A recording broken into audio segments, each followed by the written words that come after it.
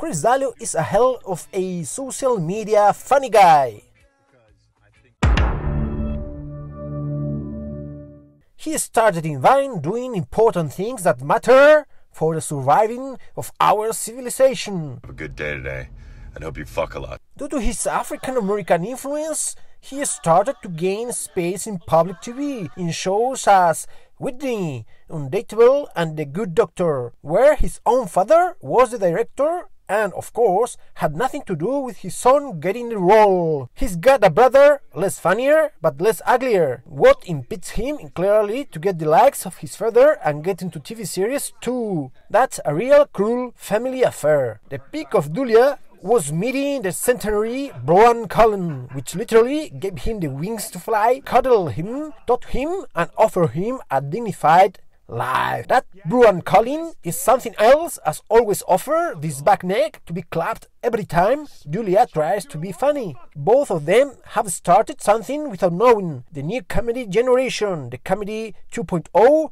the comedy of no substance, far from 5 seconds laugh. How easy we laugh with them for those 5 seconds while waiting hours and hours for the next fun bit come. Chris D'Elia is enjoying the good connections from Daddy with Netflix, so he can spam Netflix stand-up section with various specials which can barely be differentiated one from another. D'Elia has been accused of starting a cult in his own Starbucks inside his home. This place does not allow anybody who is not fully white. Bryan Callen and Sexo have left everything they got behind to join this cult and reach the peak of their lives. Here's the thing: I don't understand why you're the kid. It doesn't make sense. You're you're. I mean, you are the oldest. You're the oldest.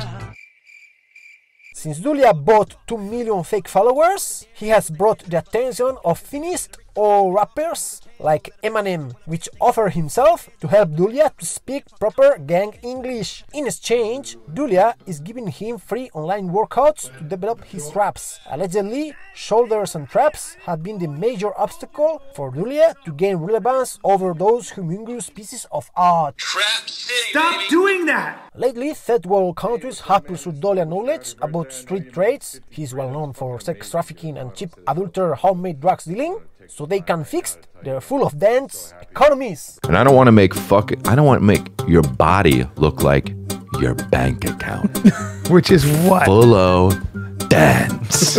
Okay, okay. Bryan, full of dents. Callen. Don't right? start these